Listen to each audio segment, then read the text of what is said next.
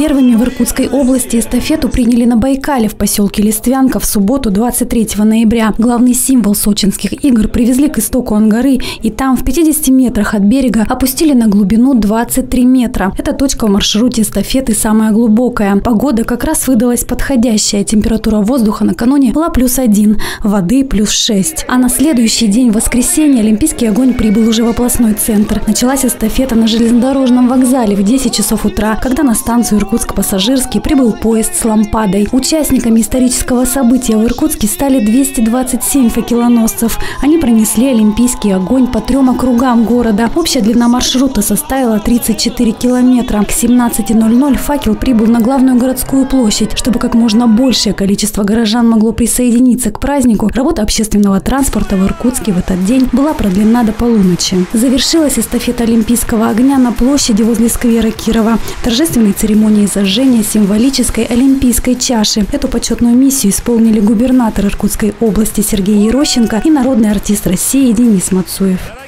Это здоровый, хороший праздник, который объединяет всю страну. Это замечательный проект. Таких проектов очень мало, к сожалению, было раньше. Сейчас это великий проект. Это действительно объединенный проект. И каждый житель, каждый житель чувствует себя причастным к Великой Олимпиаде.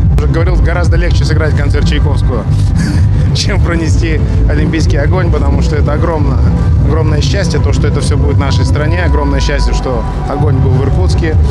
Мы будем болеть, мы будем срывать голос. Я отменил все гастроли на две недели, еду в Сочи. Эта эстафета Олимпийского огня является самой масштабной за всю историю проведения игр. Она продлится 123 дня. В ней принимают участие 14 тысяч факелоносцев. Завершится эстафета 7 февраля 2014 года зажжением чаши Олимпийского огня на церемонии открытия зимних Олимпийских игр в Сочи.